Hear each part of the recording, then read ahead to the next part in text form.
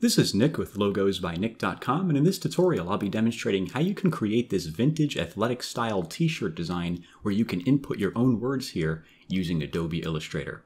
In order to follow along with this tutorial you'll need to download and install a specific font known as Varsity Team. I will have that linked in the description of the video so go ahead and download and install that font and we'll be good to get started.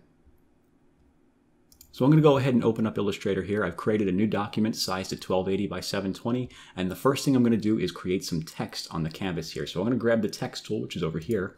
And I'm going to click on the canvas till we get this placeholder text. And I want to come up here to the font selector and I'm looking for the font that I've installed, which is called Varsity. So I'm going to start typing it, V-A-R-S. And there it is right there. I'm going to go ahead and click on that. And there you have that font change right there. Now I'm going to write in here for the, for the, uh, for, for, just for the demonstration purposes, I'm going to write Illustrator here as the top line of text. Uh, what I'm referring to here is the top line of text going over the top here that we're going to arch.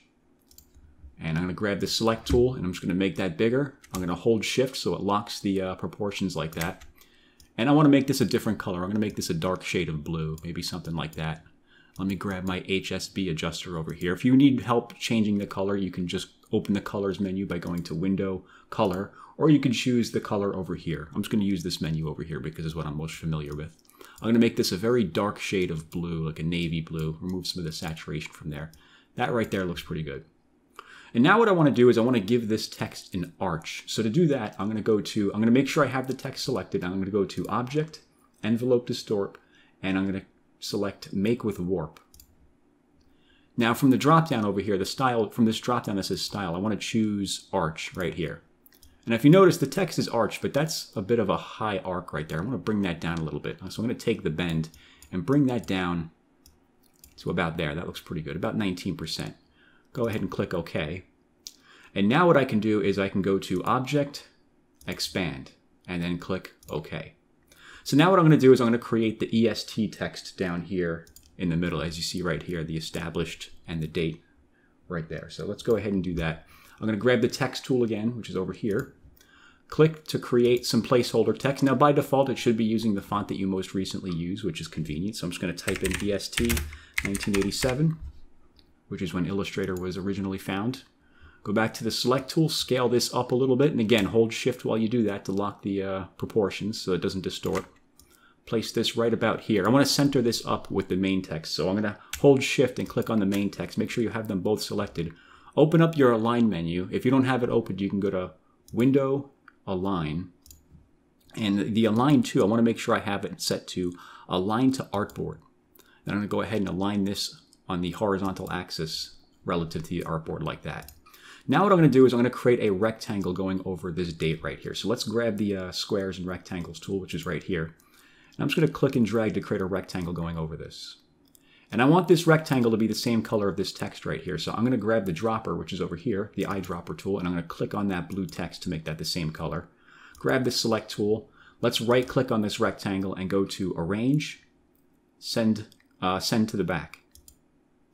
And then I'm going to hold shift, click on the text so I have both the rectangle and the text selected. Let me zoom in a little bit. I'm going to hold alt and roll up the mouse wheel a few times to zoom in. And I want to click on the text again to make the text into the key object because I want the rectangle to be aligned relative to the text. And then I will center it up on the vertical and horizontal axis like that. And then we can click off it to deselect everything. So now what I'm going to do is I'm going to click on just the rectangle right here.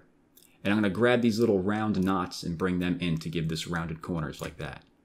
And now I'm going to click on the text and go to Type, Create Outlines, and then hold shift and click on the rectangle so we have both the text and the rectangle selected. And now I'm going to punch out these letters to make them negative space within the rectangle there. So with them both selected, let's look for the Pathfinder tool, not the path, the uh, Shape Builder tool, which is right here. And I'm going to hold Alt and click on each letter. And what holding Alt does is it deletes the area from the selected objects. So I'm going to go ahead and click each letter, each number like that. And once you're done, you can go to the Select tool. Let me zoom back out. And if you take this and move this off the page, you can see that's transparency in there, which is important because if you're going to use this for a t-shirt design, you want the shirt fabric to show through those letters there. Okay, so let me move that up a little bit. Maybe even scale that down, make it a little smaller. Again, holding shift will lock the proportions for you. And then finally down here at the bottom, I'm going to create the bottom text, which for this demonstration, I've used the word Adobe. So let me go back in here. Let me grab the text tool again. Let me click on the uh, canvas right there, and I'm going to type in Adobe. And I will make this the same color that we've been, oh, you know, I gotta go to the select tool and select it, then go to the dropper and make this the same color that we were using for everything else. Grab the select tool, scale this up, again, hold shift to lock those proportions, put that right about there. Hold shift, click on the rectangle so you have both text, the text and the rectangle selected and center that up horizontally. We want to make sure everything's centered up here like that. Okay, now everything's looking good here. What I want to do is just click on this text and go to type and click on create outlines. And once you've done that, you can go ahead and click and drag over all three of these all three of these objects and group them together by going to object, group, and now I'm going to center them up on the canvas. So I'm going to use the uh, horizontal and vertical to, to uh, align them, and then just scale this up. I'm going to hold Shift and Alt so it scales proportionately and from the center like that. Now, one last final step would be to add a little bit of a worn texture on here to make it look a little aged, to give it like a little bit of a vintage look. So to do that, I'm going to use a particular texture that I've downloaded. I'll have a link in the description to where you can download this texture. It's actually a bundle of 15 different textures that I've put together. Go ahead and download that bundle and you should get a zip folder. Within that zip folder, you're looking for texture number 10, which is, if I could bring this onto my screen here, there we go, texture number 10. So I'm going to take texture number 10. Actually, what I'm going to do first is I want to select the objects right here, the grouping of objects. I want to make sure I have them selected. Go to Window, and we're going to open up Transparency.